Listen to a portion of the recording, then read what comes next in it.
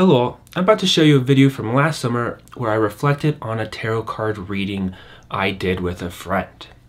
Now, I've only done tarot a few times, but each time seemed to be pretty accurate to what I was going through and gave me answers that helped me in the moment.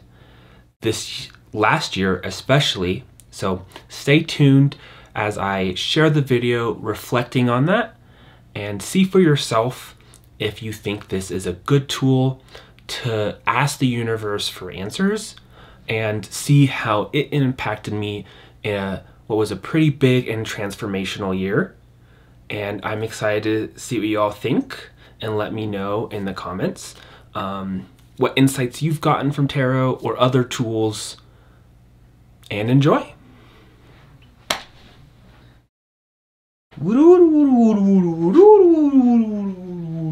Alright, hello beautiful humans. My name is Braeden Miguel. I sometimes go by Ray. And how are y'all doing? Um, we're here to do some design work and check in. I want to do more with video and amplifying amplifying my voice that way. Um, what I found so far, it is very much like a skill that takes practice and effort and reflection. Um, and uh, there's a helicopter flying by, and there's many elements to storytelling and creating videos um, and expressing yourself that um, keep it interesting and have me learning along the way as I do this work. Um, and as a skill, I want to cultivate to have uh, a bigger reach and bigger impact with my time and effort. So that's just a little bit about me and what I'm up to tonight is first gonna do something more, I guess, Braeden related because for every idea I want to do with like my company and having a positive impact that way, there's this other more like soulful and emotional side to me of what I have going on and how I help take care of myself and um, the things going on in my life. And I want it to be work and play and self exploration and what am I feeling and what's grounding me. Um, do I want to be grounded at any one given point? Um, how am I working on staying connected? And those are all things to expect more on my Braeden Miguel channel. Um, and separating it out a little bit and putting time into both. So the one that sounds more fun and um, I haven't thought about in a while is I got a tarot card reading recently. Now, I've never gotten one before. Um, I've pulled cards from a deck before, so like the smaller exercise where you like cut the deck and then you pull a card, and then you look at the meaning of the card to see if it relates. And the times I've done that, I felt connected to that with what I was asking of the experience. And so I had a few experiences like that, but generally, um, try to keep an open mind, but there is a level of like cynicism in how I my journey started and tend to, to sometimes look at things. Um, but we're um I don't know, I think it's cool. I think there's some wisdom. I found it in it for myself and sometimes being able to ask the universe in some way that sends you back a message um, or being able to correlate certain things to traits I think is cool um, and generally doesn't yeah like harm and there's so the, that the you would like discount it. Um, but as a playful thing, we're gonna look at it because this is from like a month ago now. I've been wanting to make this video for a while, looking at this tarot card reading. So this is both like this feels good because I've been wanting to make this for a while. We need to go like that. And then we need to make it bigger. And then we can crop it. Crop it like it's hot. Crop it like it's hot. Okay. And we go enter. And then we make it, we enhance. We enhance. Welcome to your first whiteboard. I've been around a whiteboard before, thank you very much. So we're gonna go through this together. Um, these were pulled on 421.23 um, after a night of helping a friend and by chance being in circumstance where um, was able to be there and then through hanging out to help get back um, the next day. Um, ended up um, pulling cards, and um, it was the first time I got a full reading. And the part of it is um, what you want to call in and or do a reading about. So rather than it just being generic or general, um, getting more direction on a particular part of your life. And so I wondered and considered what that should be. And then I eventually found myself to picking romance as a topic. Um, in about January, February, I did um, like a vision board. Um, and one of the like the areas on the vision board where I have like the biggest fog on between me and getting it then is a romance and someone um, spending more time and having more like intimate connections in life. So that is the background and then shuffle the cards, waited till um, it felt right and cut the deck in a way. And these were the cards pulled. Um, so we can look at some of these together and the, the meanings associated with each card. So where am I right now? And I pulled the tower, which still feels very fitting. Would say uh, when I pulled this, it felt, it felt super fitting. Because the tower symbolizes um, like a foundation cracking and things falling uh, like apart and changing in like chaos. And then the people in the tower are jumping to what's next. They're not necessarily sure what they're jumping to. They're just like they're already in the act of falling. Um, to work to save themselves and so um So we'll go here and we'll pull up a tower card tarot. Um, so upright, sudden change, upheaval, chaos, revelation, awakening. So it's this time where you're going through something and you're going to be something different at the end of it and I'm going through career transitions, I'm going through like life and like new developments of living and relationships and putting myself out there um, that this just felt very fitting. Um, lightning striking a building and two people leaping from the windows head first and arms outstretched um, So that's card one.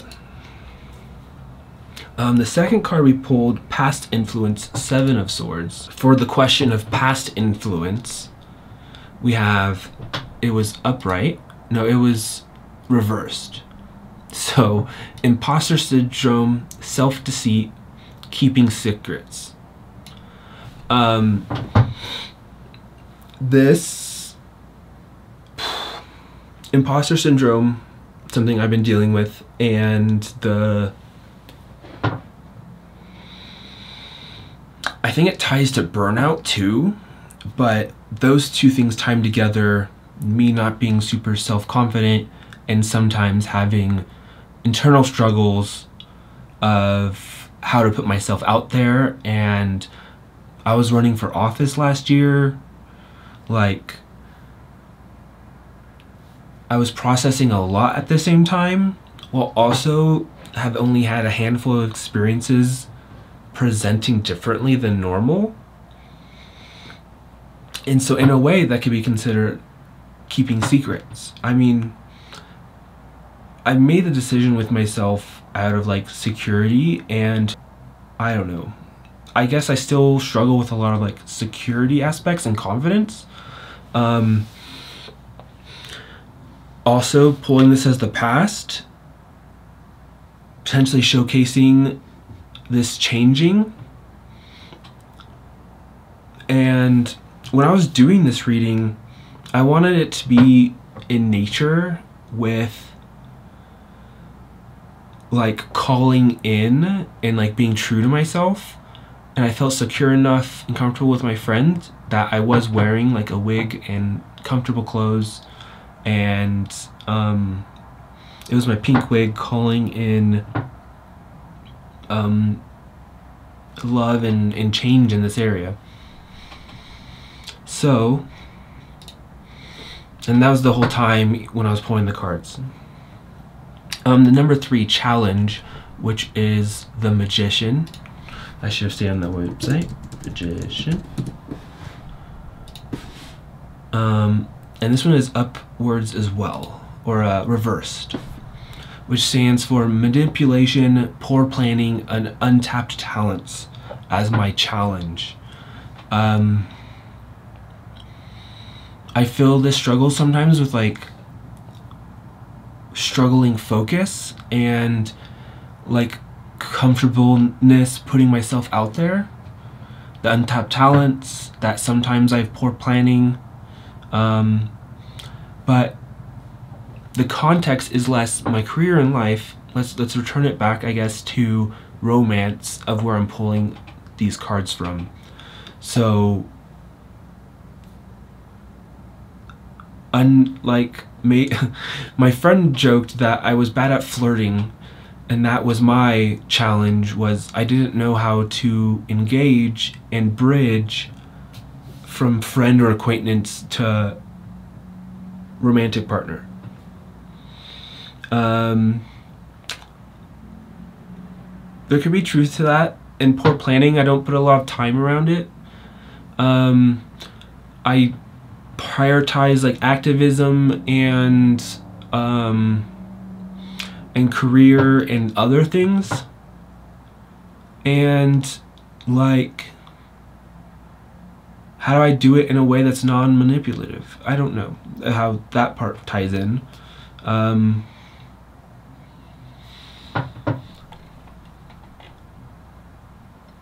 Um, some of the sites have more information. Oh, uh, upright reversed.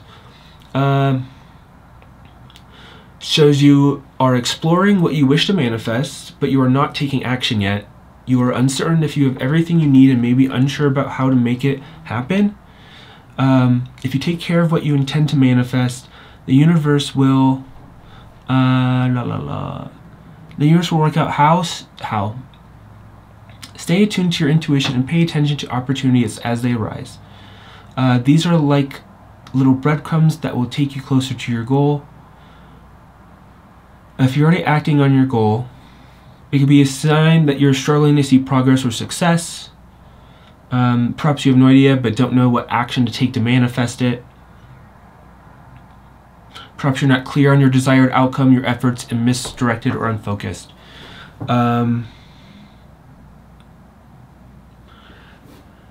I remember connecting with this part more so back then than right now.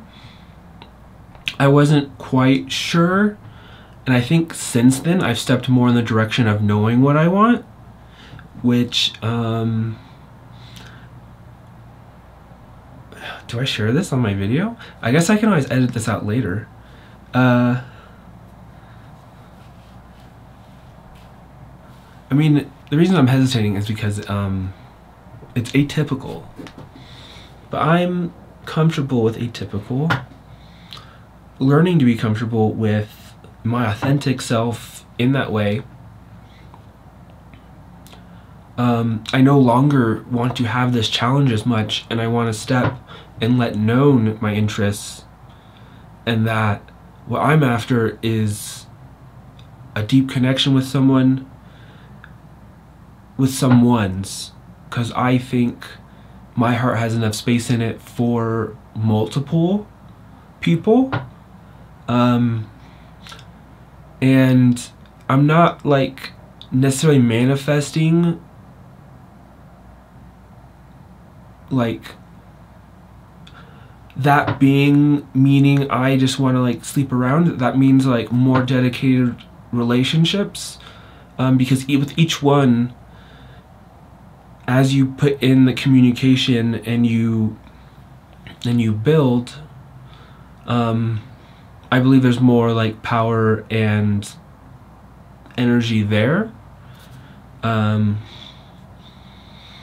I also think though I was like brought up very modest and you can even tell like my hesitance to talk about this I think comes from like that modesty that um that we that it's it's good to experience more intimate connections and bonds. Um and for different connections that looks different. And that's something that I want to be more comfortable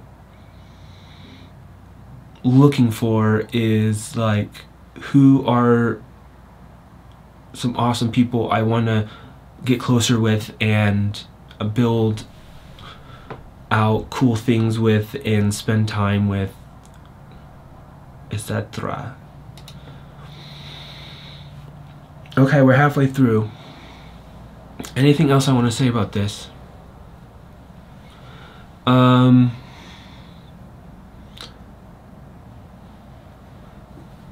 I have like overall reflections looking at all these cards, but one of the things I, I am pulling from this is that I do need to be more intentional if I want this in my life. And um, it's a challenge. It's it's dedicating time and attention to that as well as other aspects of um, getting my foundation back together. Okay. Uh, the next card, Opportunity, is Judgment. Um, my friend described to this uh, to me as level up it's like all they said was they're like oh you just gotta level up um i like y'all's website. It's really well put together. Uh, okay. Upright. Judgment rebirth inner calling absolution. Um blows the trumpet. Blowing the trumpet. Yada yada. The people respond to his call, ready to be judged. Um, let's just go to here. Uh, it's calling you to rise up and embrace a higher level of consciousness for the service of your highest good. You are experiencing a spiritual awakening and realizing that you're destined for so much more. This is your cosmic upleveling. You hear the call and you're ready to act. Tune into a higher frequency. Let go of your old self and step into the newest, newest version of who you really are. So the judgment card often indicates that you need to make a life-changing decision, but unlike those associated with the logical justice card, um, requires a blend of intuition and intellect. Um, you may be at a crossroads where that any choice you make will bring a significant change with long lasting effects. Um, tune into your higher self, trust your judgment, and know you're on the right path. If you still need clarity on the situation, look to your past and life lessons to guide you. Um, it pops up in tarot reading when you're close to reaching a significant stage in your journey. You've reviewed and evaluated your past experiences and learned from them. All the pieces of the puzzles of your life are finally coming together to form one unified picture of your life story. Uh, this integration has healed deep wounds, and you are now able to put the past behind you. You have found your absolution, having cleared. They're just going overboard right now, but it means like step into your power. Um, this like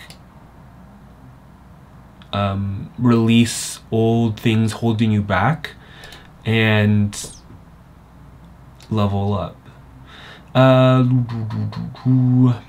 the purging process will leave you refreshed and ready to take on any new challenges. That sounds great. Um, I need more refreshment in my life.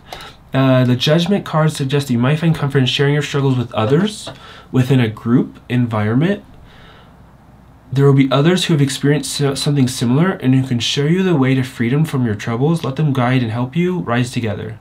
I love that part. Um, okay.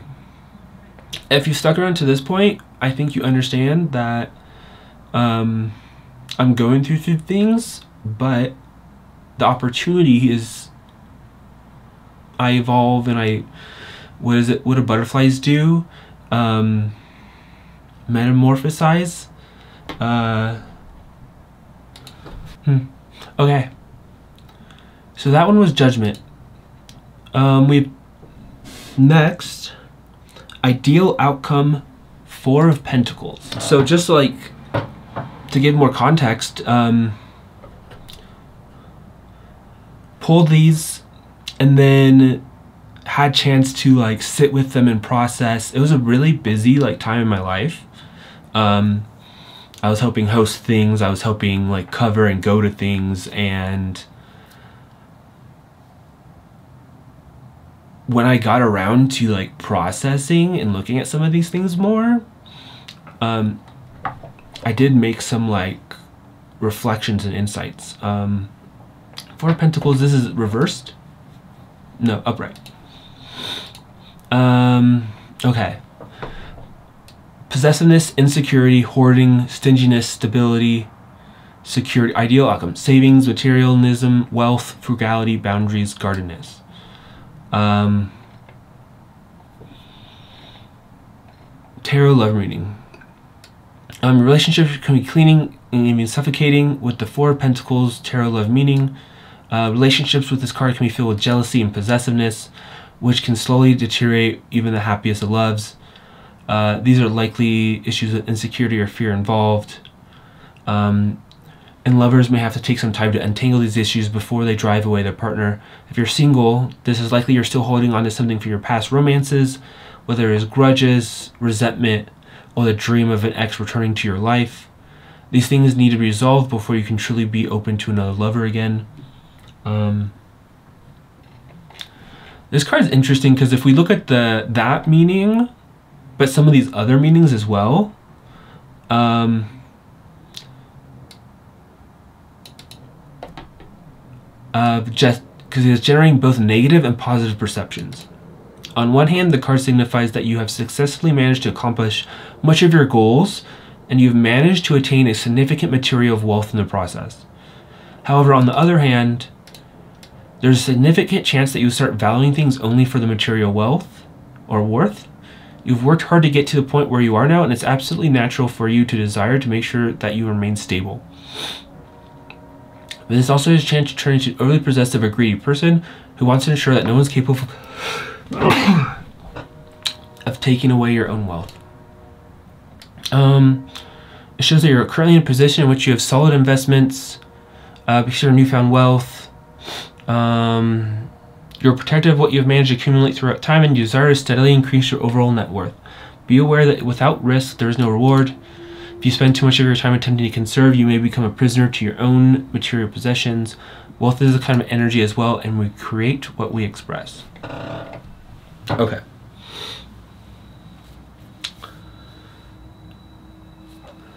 obviously, I'm going to find and look for the most generous meaning of this. No. Um, am I holding on to past aspects of love life?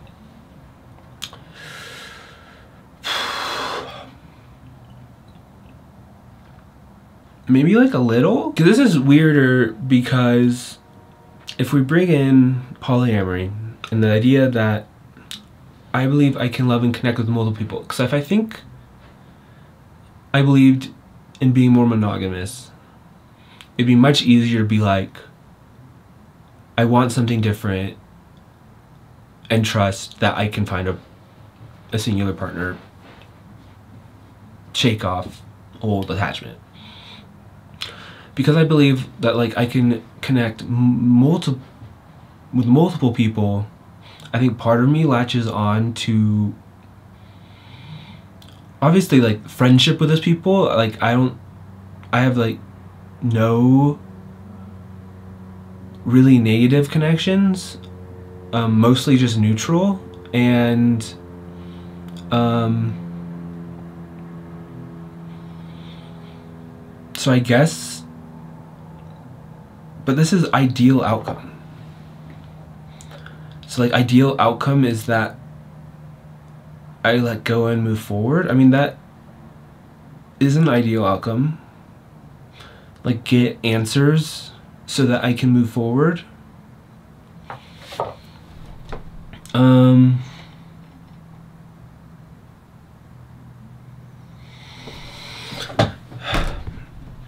if I make my own interpretations,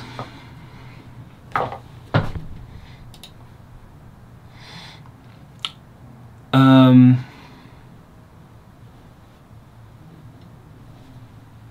there's four coins and then a city in the background is on the card. So the ideal outcome is that help through my connections and through my four loves.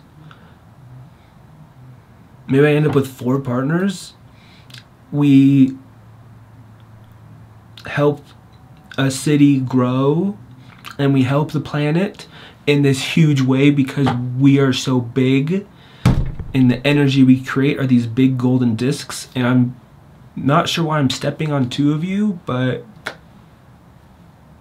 maybe that's like what we're into I don't know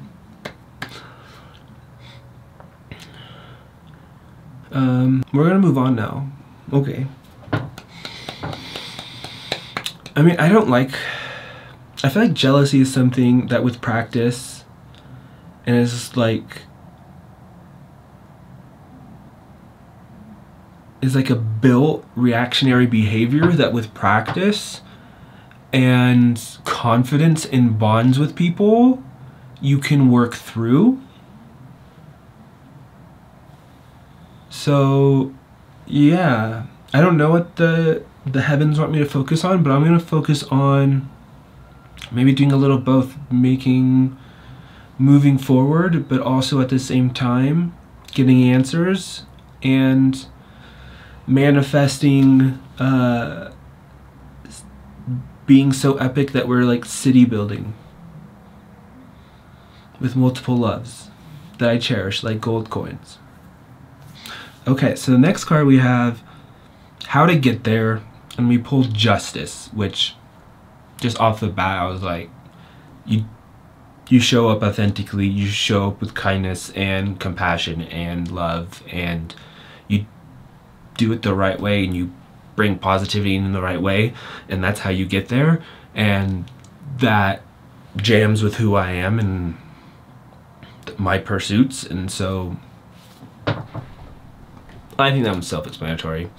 Um, we'll look at what the uh, Justice Tarot.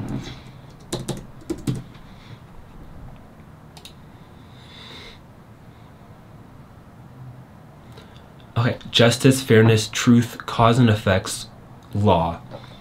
Um, there's the imagery, and then you're being called to account for your actions and will be judged accordingly. If acting in alignment with your higher self and for the greater good of others, you have nothing to worry about. Um, if you haven't, you'll be called out and made to own up to your actions. If this has you shaking your boots, know that the justice card isn't as black and white as you may think. The level of compassion and understanding accompany justice. And although you may have done something you regret, this card suggests that you will be treated fairly and without bias. Be ready to take responsibility for your actions and stand accountable for your ensuing consequences.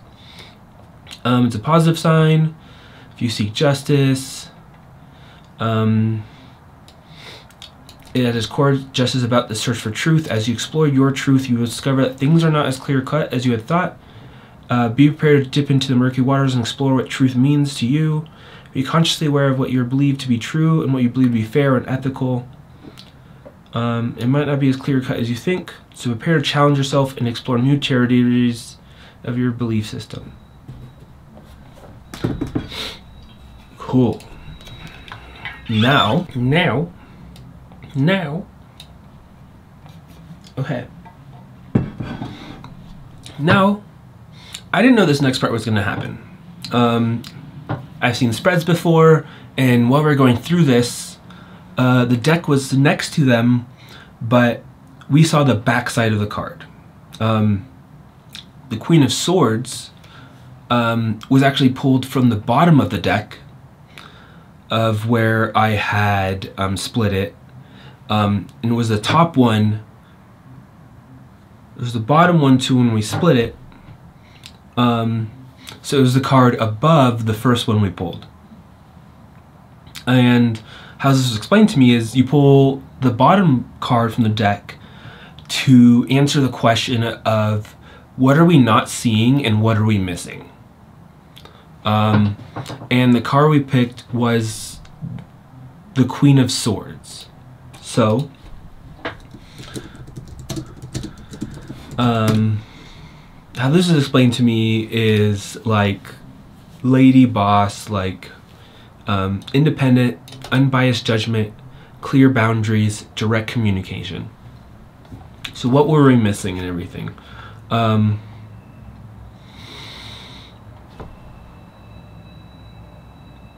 that need to be true and confident from ourselves. Um, engage in direct communication and having focus and intention to what you want. So those are my takeaways. Let's see what it says here. Um, combines the mental clarity and intellectual power of the suit of swords with the maturity and receptiveness of the queen. You have the gift of being able to use your intellect and unbiased judgment while also remaining flexible and open to receive input from other sources. Um, as you lead from the head and not the heart, you're better able to discern situations without the influence of emotion or sentimentality. You may believe that empathy or compassion towards others will distract you from the task at hand. Instead, you prefer to know the how, what, why, when, where, and who of everything to help you make sense of your environment and better understand others. It is not that you do not care about others, but you connect with other people through an intellectual understanding rather than emotional. Um,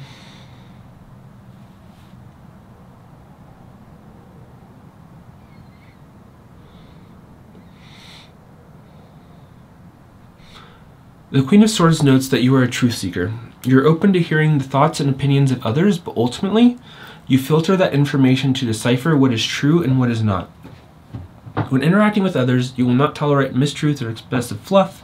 You prefer to get to the heart of the matter without engaging in too much chit chat or gossip. Uh, the Queen of Swords suggests that you have an innate ability to tell it how it is. I feel like there's so much flavor text. Um,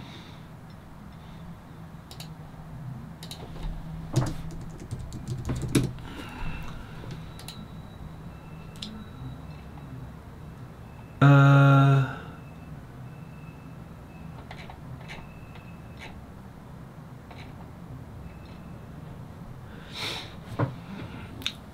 mm, if you are a single,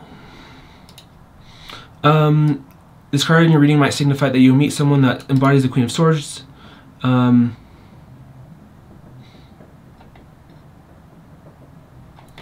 yeah, the biggest, I think, takeaway for this is what are we missing in the romance equation? For me, personally. Um, seeing some of the other cards, seeing that I haven't been very direct or like intentional, um, but also that there was a part of me that was hiding, I guess. And obviously, I'm presenting this more openly now. Um, but maybe worn a wig a few times out in public. Um, and like worn like feminine clothes like twice and mostly in my own environment. Um,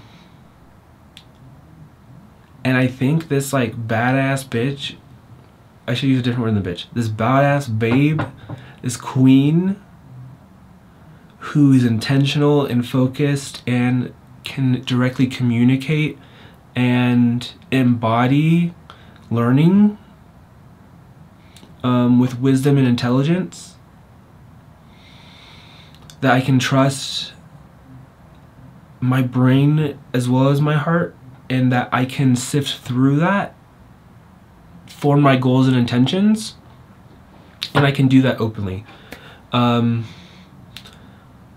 and I think missing that part, pulling that card, and having that reflection led to me that weekend going out a little bit differently to events, um, wearing my pink wig, playing around with how I presented a little bit, um, but also tapping into what that energy feels like of being a, a badass babe boss. Um, uh, who's more able or at the very least differently able to call in and navigate a space. Um, and I think it's important to be true to that as well. Um,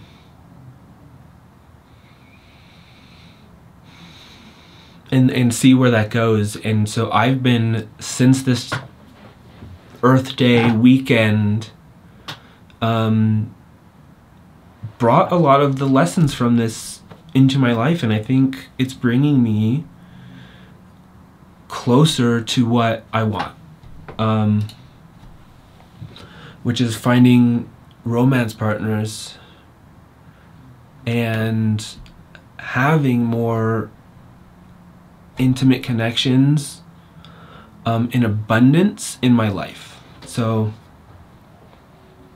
that is that. Anything else I want to add?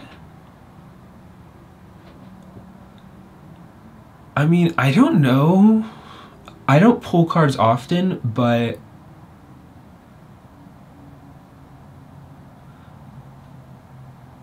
I don't know. Like, there's multiple major arcana like cards there that fit and conclusions of different kind like kinds can be applied.